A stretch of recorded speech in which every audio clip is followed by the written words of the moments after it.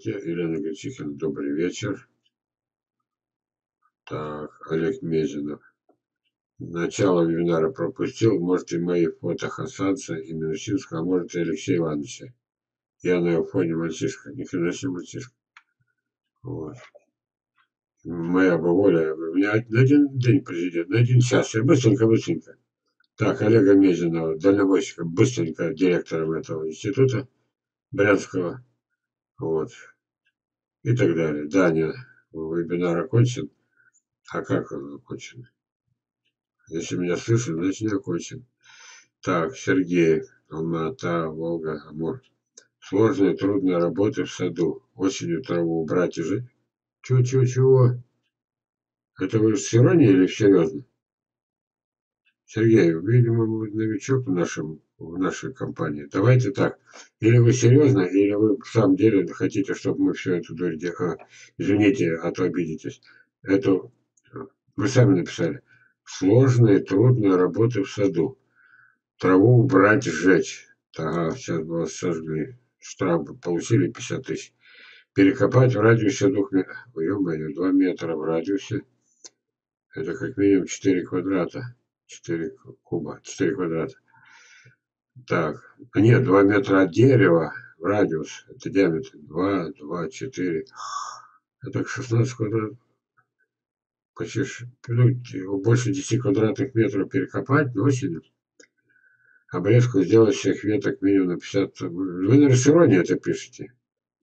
Обрезку сделать минимум на 50-100 сантиметров возрастом более трех лет. Это что, все ветки? Всех ветки. Удобрить наводом гоняешь оставшие плюс муравьями радикулит и злость. Она, а, молодец. На самом деле все это шутка. Ой. Вы что, хотите меня до инфаркта довести? Выходишь в сад, осматриваешь деревья, любуешься чистой красотой, делаешь фото, дышишь, вот, вот они все правильные. Сергей, жаль, что вы мужчина, я бы вас расцеловал, если бы вы были женщиной. Ну, не повезло. У меня нормальная ориентация – Спасибо за поддержку. Огромное спасибо вам за поддержку. Почему массово нет в магазинах плодов гибридных растений? Нет межвидов гибридов по методу Мичурина. Откуда они возьмутся-то?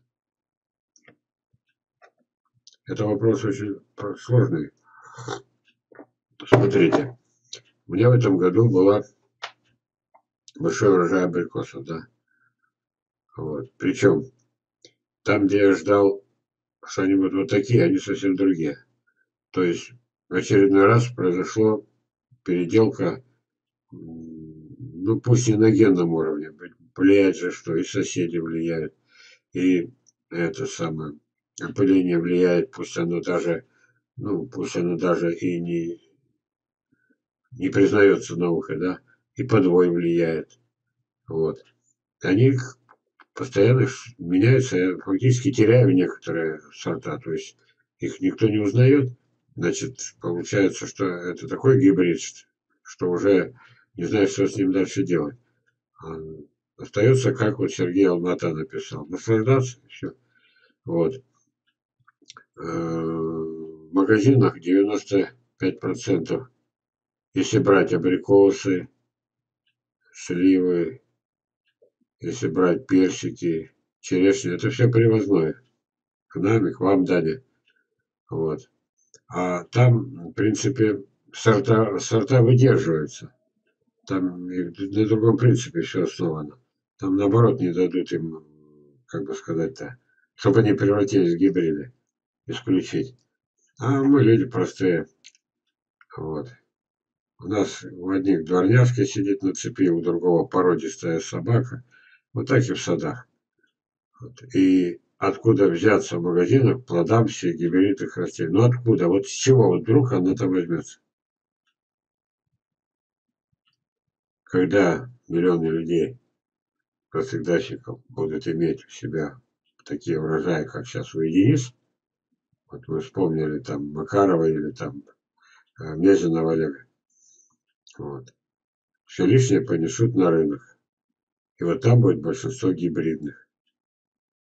Именно гибридных. Почему? Потому что у нормальных, как бы их назвать-то, чисто генетических сортов в России нет будущего.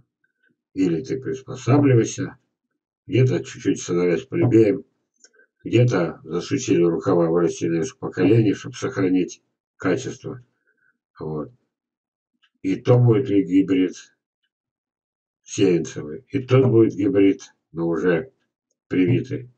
Вот. И это будут гибриды. Но это тогда, когда в миллионах садов будет миллионы. Знаете, как э, вишни? Одна из причин, я ее называю чуть ли не главной, это деградация вишневых садов. Когда-то, где-то мы далеки от науки. Наука нам не поставляет миллионами саженцев. Поставляет, значит, с юга, значит, замерзнет. А наука своя этим не занимается практически. И вот получается, в деревню попало когда-то 50 лет назад, 200 лет назад, даже 10 лет назад. Попала вишня, прошло время, они, скорее всего, корневают в водах. О, как они прекрасно плодоносят, и растут быстро, и плодоношение 3-4 год. И вот она покрылась плодами, но она еще и дала отводки. Сосед выкопал, посадил. Вот уже вся деревня, э, геометрическая прогрессия. Вначале немного-немного, но бах, вся деревня, уже в соседние повезли эти же саженцы корневой отводки. Все родственники. Проходит время, начинается деградация. Никто этого не знает, не понимает и не делает ничего. Вот. А гибридное, это значит, вы возьмите, я, допустим, несколько тысяч косточек на этих самых сибирских вишен-то заготовил. Вот бы их везде по всей по европейской России, где погибли вишневые сады или доживает свой век больные, несчастные, изуродованные секаторами. Вот бы туда. А я приводил примеры под названием э, чистая кровь. Не, не, не чистая, свежая кровь, да, свежая. Надо повторить будет эту самую лекцию, но это в другой раз. А пока будет так. Значит, нет гибридных растений и не будет в ближайшие 10 лет. Нам никто не, не, да, не даст простор нам, любителям. Вот. Ни Макарову, ни потомкам Латенкова, ни родственникам Латенкова. Да и нам тоже ни Филиппеву, ни Тоторову, ни Чернобаеву, ни мне, никому. Знаете, как Чернобаева от Лантича надо научить это, заставить работать. Спецназ, отобрать кисть, картины, запретить ездить на рыбалку, и сказать, вот будешь выращивать деревья. Тебе Бог такой талант дал. Но а заинтересованности никакой нет. Все понятно. Виктор. Валерий Константинович, прокомментируйте такую ситуацию. К августу сеяние черешни сбрасывает листья. Ух ты. Начинается рост новых побегов и так только у одного дерева. Новые побеги не вымерзают зимой. Так. А у вас это дерево неправильное. Смотрите. А да, у вас сеянец черешни. Но у этого сеянца есть папа, мама, дедушка, бабушка. Так. Скорее всего, произошло нормальное, настоящее опыление по принципу не близко родственное, а дальне родственное. А дальше получается, как оно случается у дальних родственников. Это и у людей, и у собак, и у лошадей, у кого хочешь. Всегда получается одни ну, генетику вспоминать, то сами знаете. Неприятно вспоминать, знаете, почему ее? Да из-за этих, как мы их называем там, мы называем это родовые болезни, да. Вот. Одни болезни накладываются друг на друга. И вот получается, человек еще не родился. Ой, не хочу эту тему. Вы поняли мой намек, да? Все, пойдем дальше. Борис Винокуров. На какой год начинают плодить сеянцы китайских свиньев? Четвертый, пятый год. Друзья садоводы. Лайки, комментарии, любят YouTube. Комментируйте вебинары. А никто не ставит. Ставьте лайки, так мы повесим рейтинг вебинара, обретем еще больше единомышленников. Очень довольна. Вот WhatsApp чатом уже много разослала выложенное объявление от Железного. Спасибо, Татьяна, вы настоящая подруга боевая. Спасибо вам. Так, Даня что-то пишет. Подождем. Я не спешу. У нас еще... Ну, как договорились, два часа ля-ля-ля, а потом меня слушайте, а потом переписка, споры, можете даже послать, если захотите, скажете, не тому учишь, реализуй. Не может и быть прав, когда вся наука говорит, деревья, ни одного правильного дерева нет на планете.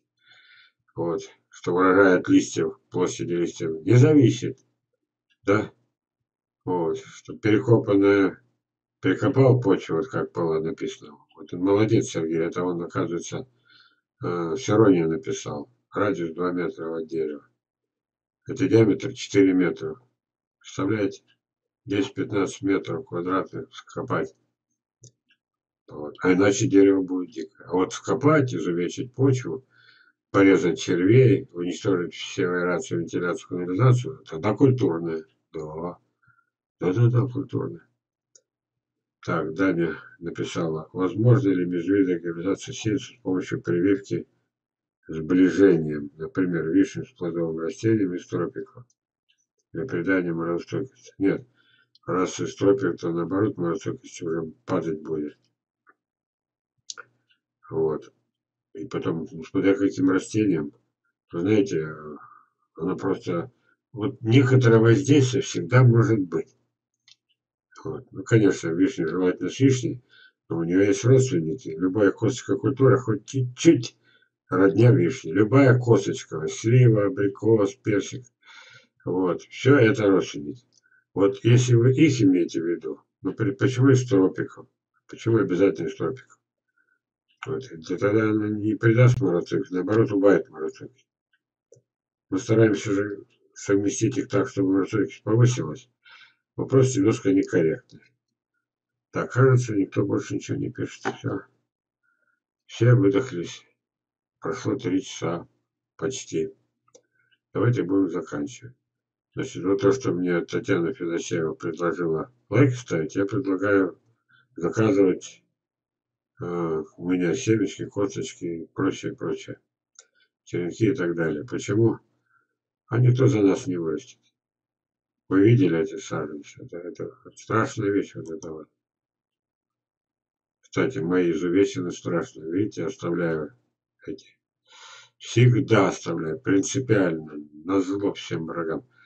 Обязательно должны быть сучки. Вот. Одно из проклятий современного садоводства. Ненавидят сучки, вырезают за подлесос со штамбом, калечат дерево. Вот спасение. Вот это так случайно подвернулось под руку. Вот. Видите? Вот это подлейшая вещь. Миллионы продают вот так. Миллион за миллионов. И все мертвое, мертвое, мертвое, мертвое. Никто вопросов не задает. Обидно, страшно. Вот. Этого никто не знает. Вот она генетика. Настоящая генетика. Вот. Помните этого самого, то ли Медведева, то ли Исакова, выпускница Тимирязевки. Железов-то металлург, он не генетик. А вы, Валерий, а, моему брату обращаюсь. А ваш брат Железов генетику знает? Ну, наверное, на уровне академиков я ее не знаю. Но разве это генетика? Отрезать лишний скелетный вид. Это есть генетика? Искусственная крона, да еще такая, чтобы это все замерзло с гарантией. Все, друзья, заканчиваем. Заказывайте семечки, заказывайте косточки, заказывайте черенки. Еще настолько легко все это делается. Я тут отдельный фильм хочу посвятить. У меня тут проблема с южанами. Может быть, на юге-то все, что я говорю, не пойдет. Может быть. Вот. Но, знаете как, хотелось бы. То есть компромиссы надо искать с югом. Вот. Но вот это, то, что здесь, оно и для юга не годится. Я говорю, вот это замерзнет в средней полосе России, изувечено тут 20-30 стран, да. А на юге может быть так тепло, что оно и не замерзнет. А я считаю, что все равно дерево обречено. Физика есть. Вот, поднять на лишний метр влагу. Вот. Мне так хочется, чтобы человек этот посмотрел мое кино, вебинар этот, и через год-два сообщил. Да все прекрасно, все в. И вот этот хиленький штаб, как он может это выдержать? Помните эту Западную Украину, Львовская область? Я не о политике, нет, что вы. Вот. Девушка по имени Дана. Абрикос там молодой, персик молодой, лет 10. 170 килограмм. Как здесь это будет держать, я не понимаю. Эти 170 килограмм. Все, друзья. На сегодня достаточно. Впереди юбилейный 200 вебинар. Я с вами прощаюсь на неделю. Надеюсь, что мы не расстались с вами. До свидания.